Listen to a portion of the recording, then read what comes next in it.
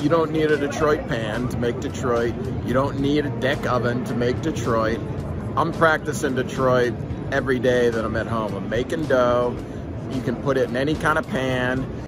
In this video interview with Jeff Smokevich of Blue Pan Pizza and Brown Dog Pizza, Jeff explains all the secrets you need to know to make Detroit pizza. If you ever wanted to make Detroit or interested in Detroit, you're going to love this video.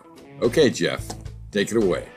Okay, Albert Grande here with my old buddy Jeff Smokevich of Brown Dog Pizza and Blue Pan Pizza.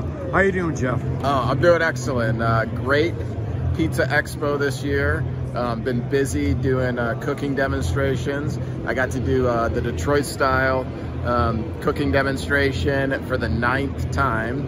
And then uh, I did a sandwich demo too. Um, did some judging and was able to also compete in the pan division. Um, did not uh, place in the top three, but had a great experience and just been, you know, meeting great people here and, you know, re- and, and just reuniting with old friends too. Okay. I know you've addressed it before. Tell me about Detroit. What makes Detroit special? Because you grew up on Detroit. Yeah. That is your pizza. Yeah. You know? Yeah, well, I grew up right about two doors down from a Jet's pizza. So um, my dad's favorite pizza is Jet's. So if my, my dad picks the pizza on Friday night, we get Jet's. If my mom picks it, we get Buddy's. Buddy's was about a half mile. There's a, there's a delivery to go Buddy's about a half mile from us. My favorite pizza there was Primo's. Primo's is in Birmingham, Michigan. They have one location. I used to ride my bike to Primo's when I was a little kid and get slices. If I had to pick Detroit style, I'd pick Primo's. However, when I bring my friends to Detroit and take them, or I bring them to Birmingham where I grew up and my partner, and I take them to Primo's, they're not too big of fans of it. So it's more of a nostalgic thing for me that my favorite pizza is still Primo's. Okay. What is Detroit, Jeff? Detroit, Detroit style pizza. Detroit style pizza is that caramelized cheese. The caramelized cheese is Detroit style pizza. The sauce on top, you know, the cup and char pepperoni. It's just the light, airy interior crumb, the crispy bottom. I mean, there's nothing better than Detroit style pizza. It's the Yeah. best. It's it's amazing, and I, I love the story where your little sister never got the edges, the corners, which everyone wanted. Forgot to say corners. Yeah, you know, we would uh, we would get we would get Primo's or Buddy's or Jet's on, on on Friday night, and my brother and I would take the four corners, and my sister, who's seven years younger than me, would always end up crying.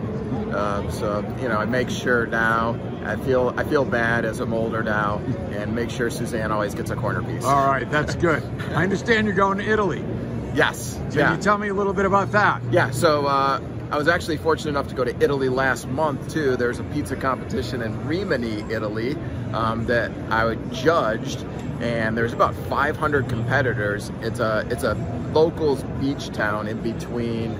Um, it's it's on the Adriatic Sea, about two hours south of Venice, and uh, it was an unbelievable competition. The pizzas there were crazy. Lots of seafood on the pizzas.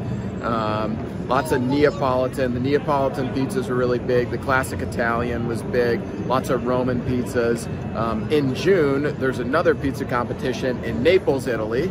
Um, and they're having an American division, and uh, there's 60 competitors in the American division. And I was fortunate to get one of the slots in that. My mother's turning 80 this year. I'm taking my mom with me to Italy for her 80th birthday, and uh, I'm gonna compete in the American division and the Pan division in Italy, and then just in, eat tons of pizza in Naples. Great. Hey, Jeff, as long as I got you, tell me a couple of quick tips for someone that wants to make Detroit at home. You don't need a Detroit pan to make Detroit. You don't need a deck oven to make Detroit. I'm practicing Detroit every day that I'm at home. I'm making dough. You can put it in any kind of pan. You can reach out to me, browndogpizza at gmail.com. I'll send you a recipe. You can start tinkering around with it. And it's it you get a you you do, I love Lloyd pans too. So you get a Lloyd pan off of Amazon. I'll give you the recipe for it. I'll give you the dough weight and just start playing around. You don't need special equipment to do it. Your home oven is totally fine to start playing around with it. Okay, how about par baking the crust? Yeah, so I'm a par baker. Um, that's what I do in my restaurants. Um, I like the par bake for a number of reasons. However, when I started doing it um, in 2011, um, it was just something that we made up. Tony Gemignani um, said, hey, let's start par baking. Nobody was doing it at the time. I started doing it, and for an operation wise, and for getting pizzas out faster to the customer, for storage, we don't have the walk-in storage to do the raw bake. Um, it works well for us. You can keep the par bakes overnight too, so you can use them the next day. Um, there's lots of advantages to it. You do lose some of the moisture in the crust when you bake it off, so you get a different texture, a, a different flavor than you would for the raw bake, but you still, the end game, there's lots of space in Detroit style pizza.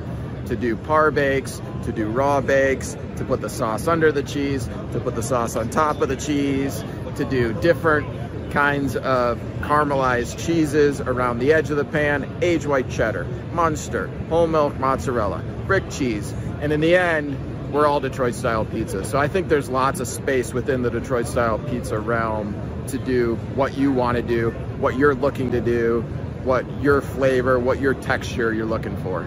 Oh, hey, Jeff. Thank you so much. Yeah. You just gave a mini workshop in Detroit Pizza right here. Love it. How can people find you, Jeff? Where are you Uh, located? I know Brown yeah. Dog Pizza, Blue Pan Pizza. Yeah, so come to Telluride, Colorado. Come on a vacation there. You like skiing, you like music festivals, you like film festivals. Come visit us on Main Street in Telluride. We're in Denver, Colorado, in Congress Park. We're in West Highlands, and we're opening a new shop in Golden, Colorado in the fall. So we'd love to see you. Come ask for me. Reach out to me, browndogpizza at gmail.com. I'd love to answer any of your questions. Jeff Smoke Smokevich, thanks a lot for spending time with me. You're welcome. Take care. All right.